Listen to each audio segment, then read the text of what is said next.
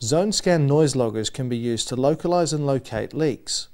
Small numbers of loggers can be deployed around suspected leak areas, or loggers can be deployed throughout the entire DMA. The loggers monitor the noise levels between 2am and 4am when pressure is highest and the background noise is lowest to identify the constant sound of a leak.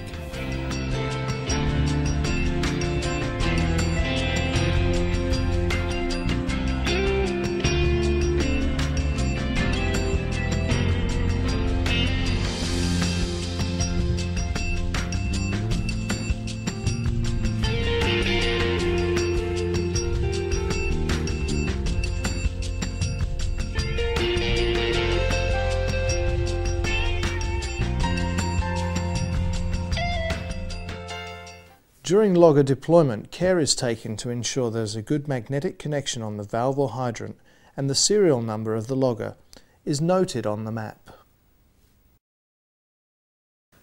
The loggers have radio communication so they can be downloaded from a vehicle while they're being deployed on valves or hydrants. Logger found. No leak indicated. Synchronization terminated. Logger found.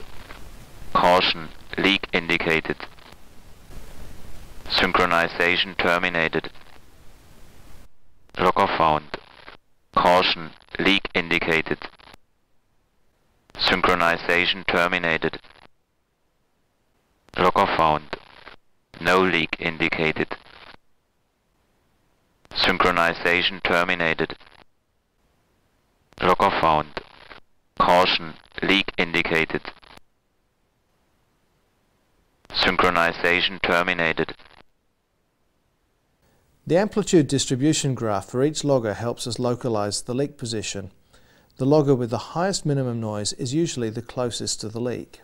The graph is showing the number of noise samples taken for each noise level to show the consistency of the leak. This logger has a leak value of 5 and a minimum noise value of 5. The X min shows the minimum noise.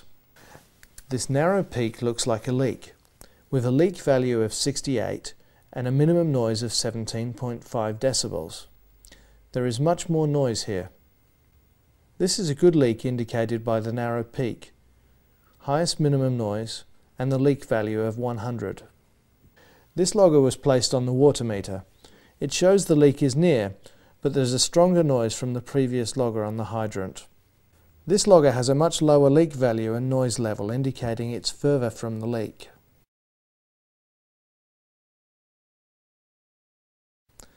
The Zonescan records correlation data to locate leak positions.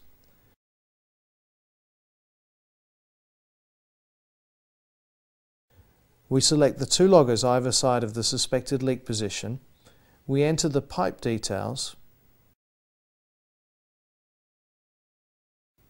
and the peak indicates the leak being 111 metres from logger 1 and 21.2 metres from logger 2.